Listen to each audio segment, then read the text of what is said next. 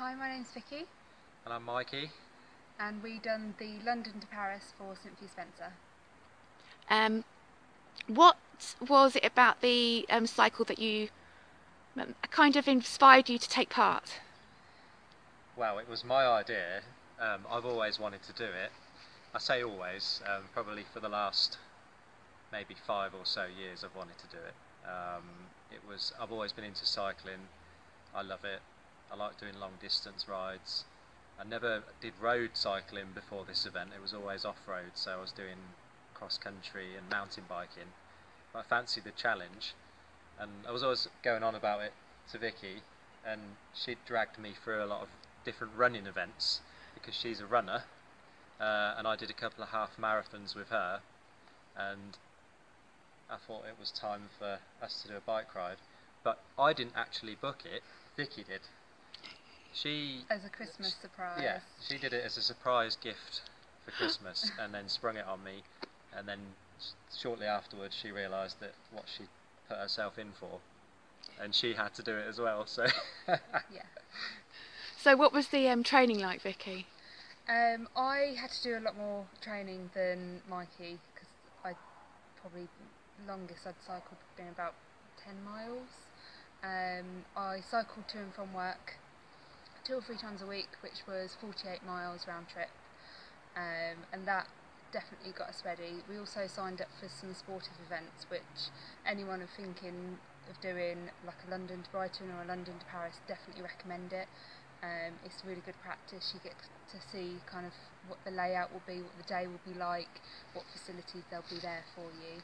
Um, but the training was tough, but it was definitely worth doing to prepare me for the actual challenge. Um, and when it came to the fundraising, um, were there any aspects of that that you found quite daunting? for me personally, yes, Vicky's really not really a stranger to fundraising because she's done a lot through through the recent years. But but for me, I've only ever done small events. I've done the cycle for Cynthia before, and I raised a small amount of money for that. Um, but I've never had to raise that amount. So for me, it was very daunting. Um, It, it ended up being quite easy um, to, to raise the money. We we thought that it was going to be a struggle, and we thought, well, if it comes to the end of it, then we can put in the rest of the money ourselves. yeah. Um, but we done one event. I done one event at my work. Um, all my colleagues were really supportive. Um, my work matched it pound for pound as well. But I done a um, a raffle and like a samosa sale, and someone baked some cakes, and that actually raised the majority of the money. So we didn't need to get that much sponsorship, and we ended up raising I think about 1,500 more than what we we needed, needed to. to. What was amazing was the raffle we wrote to all the local businesses around Northamptonshire, and all of the prizes that they donated were amazing. We got Mm. some really, really good prizes, Yeah. didn't we? And I think if it wasn't for that, then the raffle wouldn't have been as popular, Yeah. and then we wouldn't have raised so much. So we have them to thank for it, really, Yeah, and your work. Yeah. Um, so, what was the actual um, London to Paris like? How did it start off? I'll let you take that because you enjoyed it so much. The first day is the longest day. Um, you do the majority of the cycling in England, um, down to the ferry, and then you've got a short ride the other side. Um, the you'll definitely notice the difference between the English drivers and the French drivers. The French are a lot more considerate of cyclists, but then I think the cyclists in France are a lot more considerate considerate to the motorists. Um, so that, that that was one thing that I, I noticed, and the roads are better in France as well. Yeah, I think I think the roads were a lot bumpier. There was a lot more steep hills on the first day. Mm. It was more consistent with the hill, the hills, and I think it, it was the longest distance as well, wasn't it? Yeah, So it, it was the hardest day, but the weather was quite kind to us. So we didn't have that much headwind. We didn't have any rain. We had a really nice lunch on the first day, really really nice, and I think all of that helped soften the blow a little bit yeah. so wasn't too bad. Was then it when we got to France, it was a bit worse for the weather. um, was it nice riding with a group of um, people that you didn't know? Did you find that difficult, or did you actually find it quite um, inspiring to have other people around you? It, it was really inspiring. There was another group, uh, about 20 of them, cycling for another hospice um, near near London, I think, near, near. Croydon, near the, the start. Um, and it was good hearing everyone's stories, how much they'd raised, um, all the training they've done, how much weight people had lost. That was there was so many people that said, you know, I've not done anything like this before. I've done some training.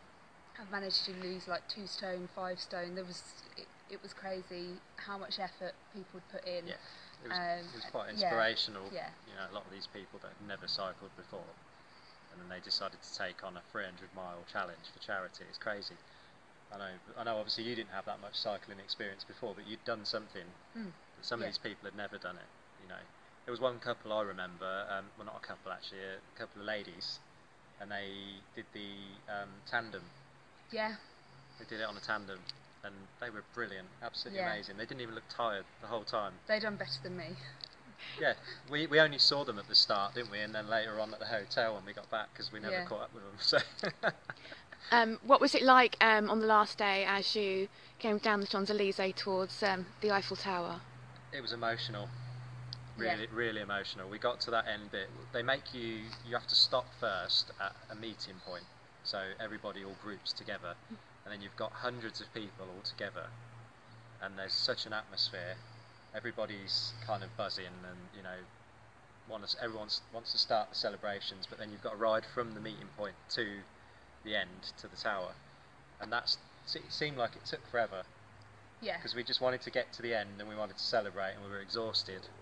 And emotions were running high. Mm. but the atmosphere was just incredible. It really we was. see the Eiffel Tower for the first time as well. We saw it quite far out from the city, and when we saw it, there was like squeals of joy, like Yeah. oh my god, there it is. that's right yeah and every, everybody was going through the same th- emotion as us you know you looked around and everyone had sort of tears in their eyes you know they were smiling some people were crying because they were in so much pain but then when we all got to the end it was worth it wasn't Mm. it it was it was amazing And my mum turned up to surprise us as well. We had no idea she was going, and she was waiting there with a big banner. Couldn't believe it. I spotted her first. Riding along, and I just see somebody that looks just like Vicky's mum holding a banner up. And then all of a sudden, I realised, hang on, that is Vicky's mum. just couldn't believe it. Just standing there. She got there the night before and decided to make it a little weekend break. It was lovely. Um, is this a challenge that you think people who haven't done cycling before could take up, as well as those who are hardened cyclists?